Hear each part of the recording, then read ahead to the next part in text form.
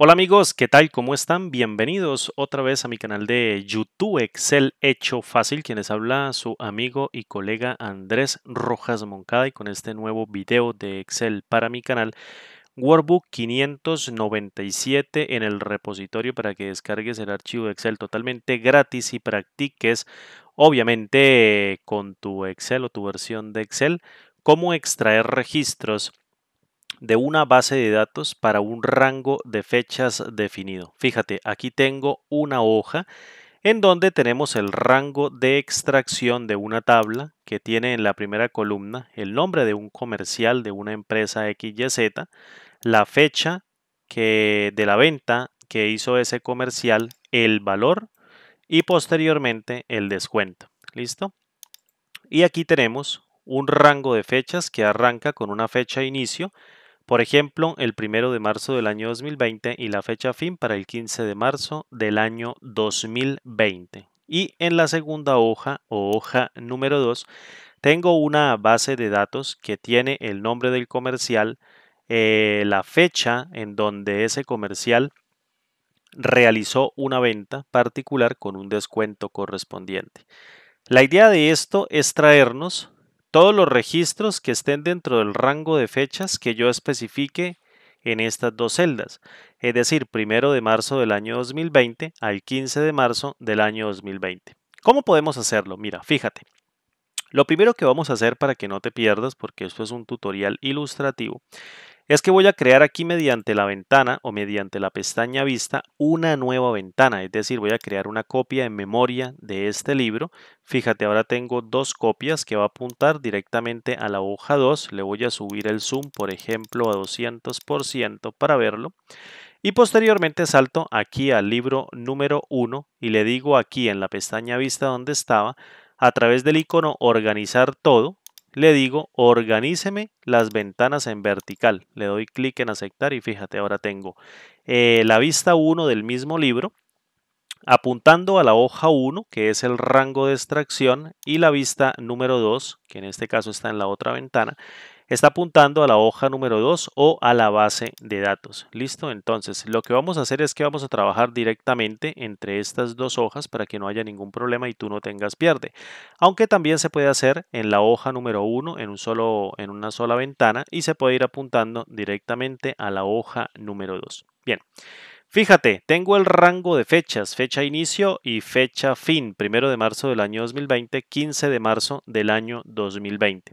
Y quiero traerme todos los registros de esta base de datos hasta acá que cumplan con ese criterio, que se encuentren dentro de este rango de fechas del primero de marzo al 15 de marzo.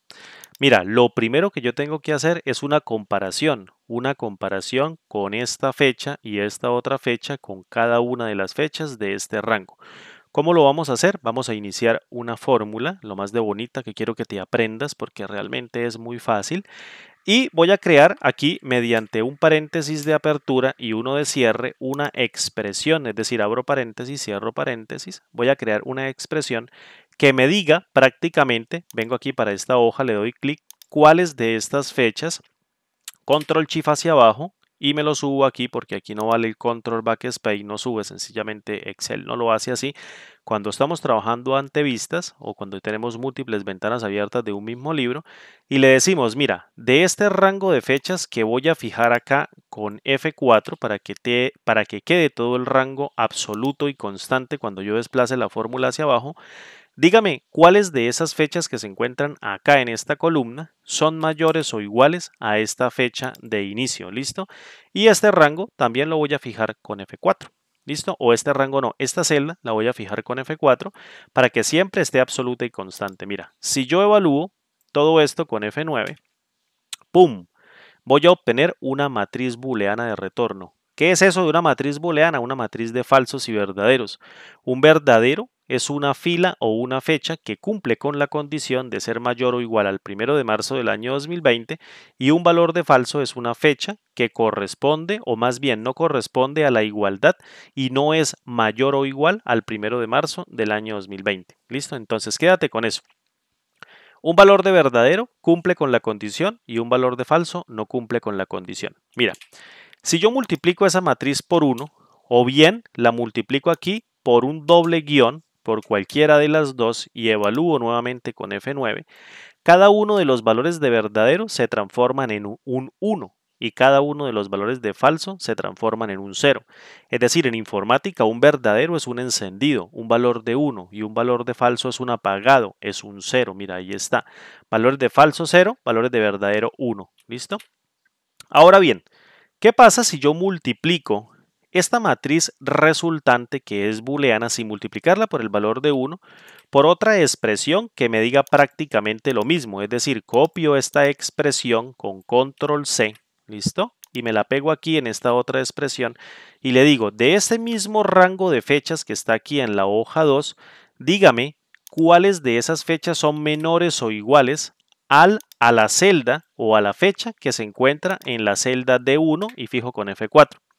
Listo, entonces si yo evalúo todo esto con F9, me va a dar otra matriz booleana, en donde un verdadero es una fecha que cumple con la condición de ser menor o igual al 15 de marzo del año 2020 y un valor de falso es una celda que contiene una fecha que no cumple con la condición de ser menor o igual al 15 de marzo del año 2020. Fíjate, tengo un montón de falsos y un montón de verdaderos. Ahora bien, ¿te acuerdas cuando te dije que multiplicábamos una matriz booleana por uno o por un doble guion? Pues bien, se convierte en una matriz binaria, pues también pasa eso cuando yo multiplico una matriz booleana por otra matriz booleana del mismo tamaño, una con otra, la convierto en una matriz binaria. Pero, pero, pero, el resultado va a ser una multiplicación lógica. Mira, si evalúo con F9, prácticamente ahí voy a obtener muy poquitos unos, es decir, muy poquitos valores de verdadero. Esto sucede porque cada valor que se encuentra aquí en una posición se multiplica por cada uno de los valores de manera respectiva, la palabra aquí clave es de manera respectiva, con cada uno de los valores de esta segunda matriz. ¿Te acuerdas que te dije que un valor de verdadero era 1? Entonces imagina, por ejemplo, que para que el resultado de la multiplicación de estas dos matrices arroje en una posición un valor de 1, entonces en esta posición tiene que haber un verdadero y en esta otra posición también tiene que haber un verdadero. Es decir, si aquí, en esta matriz, en la primera posición, existe el valor de verdadero o 1, y en esta otra matriz, en esa primera posición, también existe un valor de verdadero o de 1, entonces 1 por 1 va a dar el retorno de 1, es decir, 1 por 1 es igual a 1 pero cualquier otra multiplicación, si es un falso, es decir, un 0, y aquí un verdadero es un 1 en esa posición, da 0 por 1, 0. Si es invertido, es decir, aquí hay un 1 y aquí hay un 0 en esa posición, 1 por 0 también da 0. Y si es falso y falso en una posición específica, pues daría 0 por 0, daría 0. Es decir, la única manera de que la matriz resultante dé un valor de 1 es que en esta posición, en esta posición, por ejemplo, 1, 2, 3, 4, 5, 6, hasta esta posición que tengamos que calcular, en esa matriz 1 existe un valor de verdadero y en la matriz 2 en esa posición también existe un valor de verdadero para que dé 1 por 1 igual a verdadero. Entonces, en Excel todo es inverso. Si yo tengo una matriz binaria, que sería ceros y unos, un 1 sigue siendo un verdadero y un 0 sigue siendo un falso. Por tanto, si yo llamo aquí a la función si, la cual contiene una prueba lógica, en su primer argumento que comprueba a través de un valor booleano, es decir, un valor de falso o verdadero, o un valor, en este caso, de 1 o 0, o de 0 y 1, respectivamente, si una prueba lógica se evalúa como verdadera con el valor de 1, pues retorna el valor que yo le pase aquí en el segundo argumento llamado valor si verdadero. ¿Qué le voy a pasar en el valor si verdadero? El índice donde está puesto ese registro que contiene una fecha que se encuentra dentro del rango. Es decir, que es verdadero para la el operador mayor o igual para esta expresión que sea mayor o igual al primero de marzo y también sea menor o igual al 15 de marzo del año 2020, es decir, que cumpla ambas expresiones al tiempo, que satisfaga esas dos expresiones. En caso de que la satisfaga, pues da un verdadero y me arroja aquí el índice en el argumento valor si verdadero de la función sí que a poco eh, o que en pocas palabras, no a poco, sino en pocas palabras, genero un índice que vaya enumerando cada registro de manera inequívoca dentro de la base de datos. Es decir, esta primera fila o esta primera fecha la identifico con el valor de 1, esta segunda fecha con el valor de 2, esta tercera fecha con el valor de 3, etcétera, etcétera, hasta el último elemento que exista dentro de la base de datos. ¿Listo? Mira. Muy sencillo. Entonces, ¿cómo hago eso? ¿Cómo creo un índice? Lo creo con el uso de la función fila, no filas, fila. ¿Qué hace fila? Calcula las filas de un rango de celdas. ¿Y a cuál le quiero calcular la fila? Mira, le quiero calcular la fila a todo este rango de celdas que prácticamente serían todas estas fechas. Lo copio con control C, fíjate, y lo pego con control B. Y si lo evalúo con F9, prácticamente obtengo las filas. Mira, fila 2, fila 3, fila 4, fila 5, etcétera, etcétera, hasta la última fila que es la 153. Pero como yo quiero identificar con un índice que arranque con 1 para identificar este primer elemento de manera relativa, como si dijéramos, este es el primer elemento o primera fila de la base de datos, aunque la hoja, la primera fila sería la cabecera, pero yo digo, no, mira, de manera relativa, yo quiero que la base de datos tenga esta primera fila con el valor de 1, esta segunda con el valor de 2, esta tercera con el valor de 3, etcétera, etcétera. Entonces lo que hago es prácticamente restarle mediante el uso de esa misma función fila, le resto el rango, el rango de la celda B2 o el rango de esta celdita nomás o la referencia de esta celdita B2 que prácticamente está en hoja 2, celda B2 y lo pego aquí, mira, como resultado.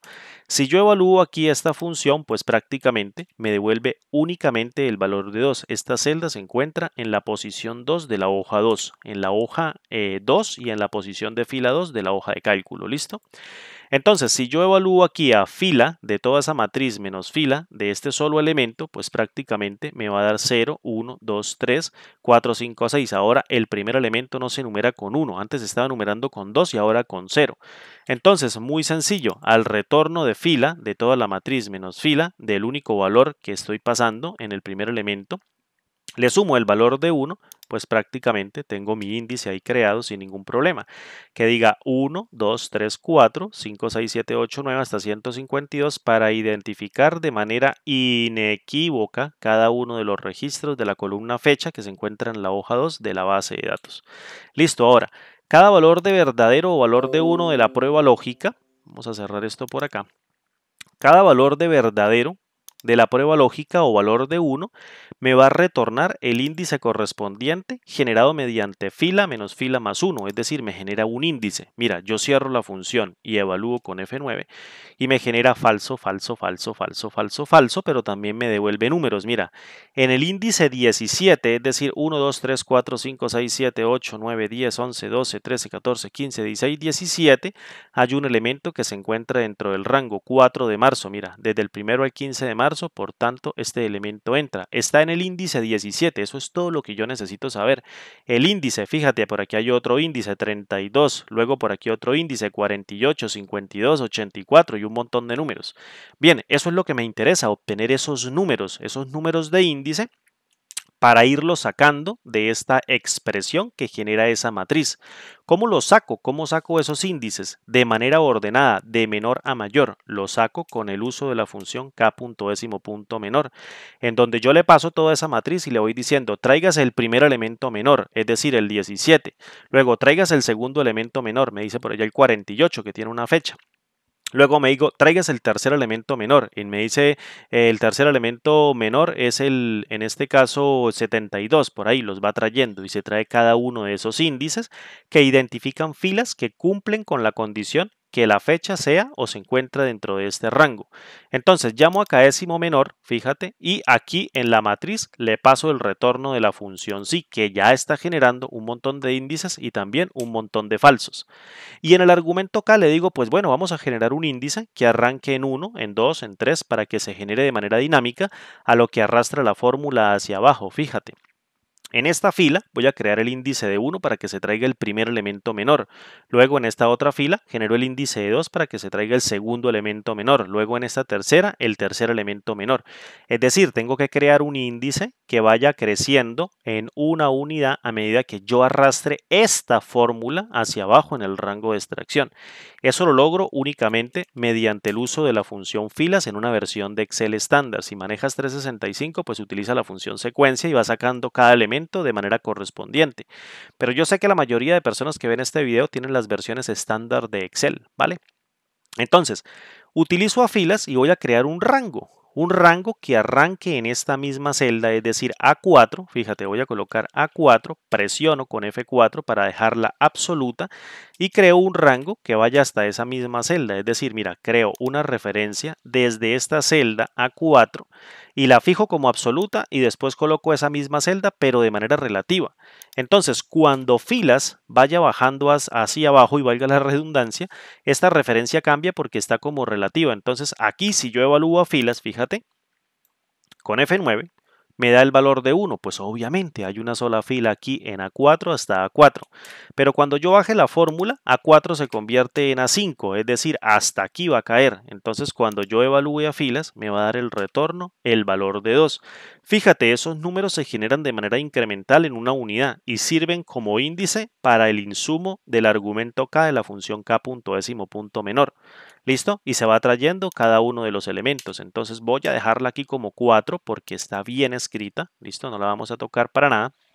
Y si yo cierro aquí a la función k punto menor y evalúo con F9, mira, me dice por arte de magia en la posición 17 hay un registro que usted tiene que extraer, es decir, mira, me vengo para acá 17 de manera relativa y está Diana del 4 de marzo con 685 unidades monetarias y 34 unidades monetarias. Listo, mira, ya tengo el índice. ¿Cómo me saco el registro?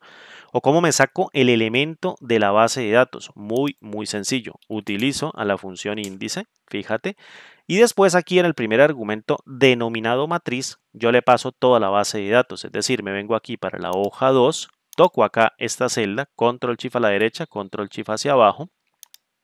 Me vengo hacia arriba, luego coloco aquí con F4 para fijarla y, y después una coma, me vengo aquí para la hoja y la toco y mira, ya tengo aquí la base de datos desde A2 hasta D153 que básicamente es toda la base de datos que yo estoy pasando dentro de la hoja. ¿Listo? Entonces la paso en el primer argumento denominado matriz, luego en el número de fila coloco el retorno de la función k punto décimo punto menor y en el número de columna de la función índice le digo pues créeme otro índice mediante el uso de la función columnas que esta vez no va a cambiar al bajar la fórmula sino al correrla a la derecha es decir le digo numéreme cuántas columnas hay dentro de este rango dinámico que creé aquí también para filas y lo que va a hacer prácticamente es que cuando yo arrastre la fórmula hacia abajo, pues obviamente siempre me va a decir una sola columna para esta columna, pero cuando la arrastre aquí hacia la derecha, esta celda va a cambiar y no me va a decir A4, sino va a decir B4, fíjate.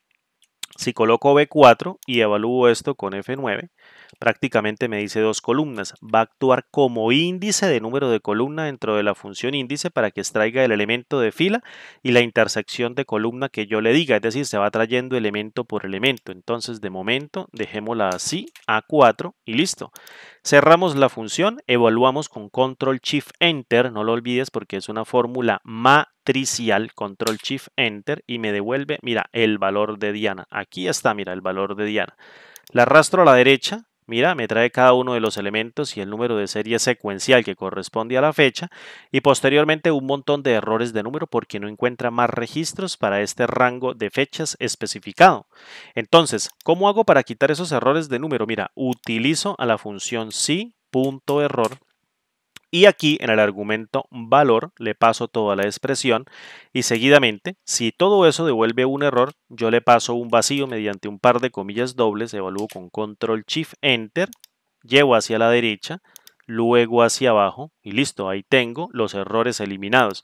Estos son números de serie secuencial, yo los formateo, control más 1, me traigo este cuadro de diálogo y le digo, mira, tú vas a hacer una fecha con dos dígitos para el día, dos para el mes, cuatro para el año, doy clic en aceptar y ahí se trae todas las fechas que se encuentran dentro del rango y ustedes señores van a hacer todas moneditas. No sé si formateé todo esto, vamos a volverlo a hacer. Fecha y colocamos aquí esta fecha y ahora seleccionamos esto que es en formato moneda y tocamos aquí moneda con cero cifras decimales y ahí tengo las monedas. Listo, súper bien. Aquí estamos haciéndolo todo de manera correcta. ¿Qué pasa si yo cambio el rango y le digo, mira, desde el primero de marzo no vamos hasta el 15 de marzo, sino vamos hasta el 20 de marzo del año 2020? Fíjate, enter y se trae nuevos registros dentro de la base de datos. ¿Listo? Volvamos nuevamente ahora y le decimos, mira, vamos a hacerlo del primero al 7 de marzo. Entonces le digo 7 de marzo del año 2020 y se trae los registros de manera correcta. Le digo ahora, desde el primero de abril del año 2020. Listo, vamos a hacerlo. Aquí invertí los rangos, por eso da todo vacío porque se generan errores.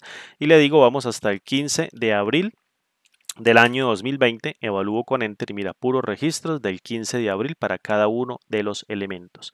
Ahora tú me vas a preguntar, Andrés, yo quiero actualizar esta base de datos, esta base que se encuentra en la hoja 2, quiero añadirle más registros. Hasta el momento todo ha sido en este caso, de manera toda estática, es decir, estamos haciendo referencias a un rango de celdas. Mira, no hay ningún problema. Vengo aquí a la hojita, presiono control asterisco para seleccionar todo. Si tienes una laptop, control shift asterisco, me vengo hacia la parte de abajo, verifico que tenga todo el rango seleccionado y posteriormente presiono la combinación de teclas control más T, fíjate, le doy clic en aceptar y creo una tabla de datos. ¿Listo? Ahora me voy a venir para acá, fíjate, me vengo para acá, para la parte final, y voy a crear un registro nuevo que se encuentre dentro de este rango y debería aparecer. En esencia, si todo ha salido bien, debería aparecer. Entonces, mira, voy a crear un registro de Andrés, que es mi nombre. Voy a colocar aquí Andrés, Enter, creo un nuevo registro y le voy a colocar aquí, eh, no sé, un dólar, y voy a colocar aquí un dólar y voy a colocar una fecha que se encuentre dentro de este rango. ¿Qué te parece? 5 de abril del año 2020. Evalúo con Enter y fíjate cómo aparece Andrés 5 de abril del año 2020 dentro de la tabla. ¿Listo? Ahora, si yo voy añadiendo más registros, se va actualizando. Desde luego que sí. Lo único que tienes que hacer es ampliar la fórmula en esta hoja. Amplías la fórmula en esta hoja y no pasa absolutamente nada. Vas obteniendo los registros dentro de un rango de fechas. Una fórmula realmente hermosa, una fórmula muy sencilla, una fórmula muy bonita que tienes que aprender porque todas las personas que manejan Excel tienen que saber esta fórmula. ¿Listo? Es una fórmula muy práctica. ¿Vale? Entonces, te voy a dejar este libro de Excel, por favor, para que lo descargues, referencia del archivo Workbook 597, son las 6.18 de la tarde del 19 de agosto del año 2021. Muchas gracias por ver completico este video. Si llegaste hasta aquí, te suplico, por favor, me regales un comentario en la caja de comentarios de este video en el canal y por favor, regálame tu like, déjame tu like ahí, restalla ese botón de like de este video porque la verdad me sirve muchísimo. Suscríbete a mi canal. Si tienes preguntas, en la caja de comentarios de este video, déjamelas. Yo trataré de responderlas en video cada vez que tenga tiempo de responderlas. Obviamente voy en orden y voy tratando de, o estoy tratando de responder todas las preguntas en el menor tiempo posible. Son muchas personas que preguntan, así que tenme un poco de paciencia. ¿Vale? Me despido. Mi nombre es Andrés Rojas Moncada. Espero que esta fórmula les haya gustado bastante. Es una fórmula que puedes encontrar en el repositorio a través de la descarga de este libro de Excel. Mi nombre es Andrés Rojas Moncada y nos vemos en el siguiente video tutorial. Hasta pronto, un abrazo. Chao.